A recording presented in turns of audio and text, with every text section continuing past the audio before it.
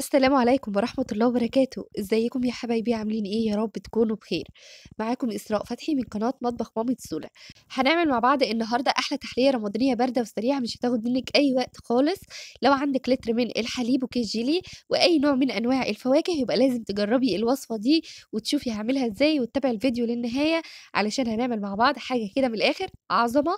الطبق ده هيبقى أحلى طبق هتحلي بيه بُقِّك بعد الفطار وكل اللي هياكل منه هيقول لِك قد إيه هو مميز وطعمه حلو جدًا. يالّا بينا نشوف هنعمل إيه مع بعض. وزي ما قُلت لكم أنا هاستخدم ل لتر من الحليب ويكون بارد وهاستخدم كوباية من السكر ومعلقتين كبار من القشطة والخطوة دي اختياري، بس القشطة هتدّي للمهلبية بتاعتنا طعم حلو جدًا ومعلقتين من الدقيق ورشة فانيليا وكيس من النشا، يعني حوالي 3 معالق من النشا. هننزل بالنشا في اللبن بالشكل ده، هننزل عليهم بالسكر. أنا هاستخدم كوباية واحدة بس من السكر علشان يبقى الطعم معانا متعادل وزي الفل، وهننزل بمعلقتين القشطة على الحليب. والقشطة بتدّي لها قوام كريمي وبتخلّيها طعمها حلو جدًا. أمّا بالنسبة لمعلقتين الدقيق فدول اختياري بس بيدّوا للمهلبية برضه قوام وطعم حلو جدًا. وهننزل برشة الفانيليا وهنخلط كويس جدًا. وما تقلقيش خالص لإن الدقيق هيستوي كويس وطعمه مش هيبان خالص لإننا هنسويها على نار هادية جدًا. أنا هافضل أخلط كويس لحد ما الدقيق والنشا يدوبوا مع بعض، لكن اللي على الوش ده القشطة، هارفعها على النار أول 5 دقايق بالضبط لازم النار تبقى عالية جدًا معانا وما نسيبش المضرب ده من إيدينا نهائي. هنفضل نخلط كده كويس علشان المهلبية بتاعتنا تبقى القوام بتاعها كريمي جدًا وتبقى زي الفل. وبعد حوالي 7 دقايق بالضبط هانزل عليهم بمعلقة من السمنة البلدي أو السمنة الزبدة، أي نوع سمنة عندِك استخدميه مش هيقول لأ. هنقلِّب كويس جدًا بالمضرب بتاعنا وهاسيبها على نار هادية جدًا لمدة 5 دقايق كمان. وبعد 5 دقايق شايفين القوام بقى كريمي جدًا، جدًا وكده خلاص المهلبية بتاعتنا بقت جاهزة وزي الفل معانا. أنا مش هاتقِّلها عن كده. بس كده يالّا بينا نشوف هنعمل إيه. الأطباق بتاعتنا طبعًا كنا مجهزينها وهنبدأ إن إحنا ننزل بالمهلبية بتاعتنا في الأطباق بالشكل ده. المهلبية لمّا بتتعمل بالطريقة دي عمومًا بتبقى طعمها حلو جدًا ومميز وكل اللي هياكلها فعلًا هيقول لِك قد إيه هي حلوة. هابدأ إن أنا أوزّع المهلبية بتاعتي في الأطباق بالشكل ده. طبعًا الباقي أنا هابقى أعمله بقى مع نفسي في أطباق كده تانية، بس أنا هاعمل معاكم الأطباق دي وبس. شايفين الجمال؟ بس كده هاسيبها لمدة نُص ساعة بالضبط لحد ما تبرد. وبعد ربع ساعة هابدأ بقى إن أنا أعمل الجيلي، كانت المهلبية بدأت إن هي تبرد شوية معايا. أنا هاستخدم باكيت واحد من الجيلي. وهانزل عليه بمعلقة برضه من السكر، بس المعلقة الصغيرة مش الكبيرة. يعني فيما يعادل 3 معالق من المعالق العادية من السكر. السكر هنا بيخلّي الطعم حلو وإحنا طبعًا هنكون في رمضان، فلازم تبقى الحاجة مسكّرة معانا كده وسكرها مضبوط. وهننزل عليها بكوبايتين من المَيّة المغلية، لازم تبقى سخنة جدًا طبعًا.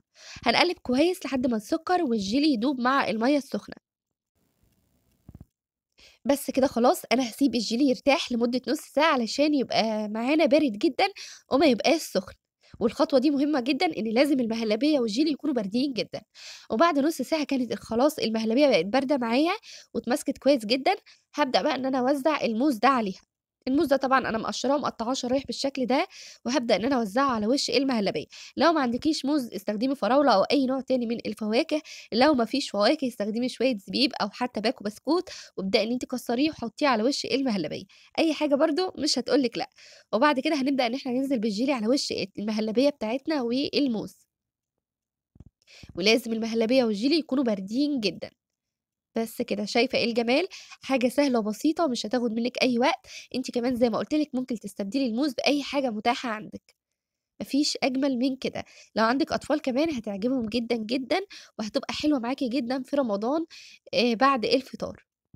أو حتى لو عندِك ضيوف هتشرّفِك جدًا قدّامهم.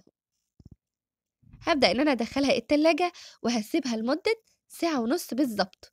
وهي في خلال نُص ساعة أصلًا بتبقى زي الفل، بس أنا هاسيبها ساعة ونُص علشان تبقى متماسكة جدًا. وبعد ساعة ونُص بالضبط شايفين الجمال؟ الجيلي بقى متماسك وزي الفل معانا، والمهلبية كمان شايفين باينة من تحت الجيلي شكلها روعة جدًا. شرايح الموز مع الجيلي مع المهلبية حاجة تحفة تفتح النِفس، فعلًا تستاهل إن هي تبقى أجمل تحلية رمضانية بأي نوع من أنواع الفواكه اللي عندِك. جرّبيها هتشرّفِك جدًا قدّام ضيوفِك وهتعجبك وكل اللي هياكلها بإذن الله هيشكرِك عليها. وكالعادة طبعًا أنا مش هانسى أدوق معاكم الجمال ده. طعمها حلو جدًا بجد، الميكس ما بين الجيلي والمهلبية والموز حلو جدًا، طعمها مميز، قد إيه هي رطبة ولذيذة كده، حاجة خفيفة بجد تستاهل إن أنتِ تعمليها، بس أوعي تنسي تكتبي لي رأيِك بكل صراحة في ال comment ات، علشان زي ما قُلت لِك قبل كده إن رأيِك ده يهمني جدًا.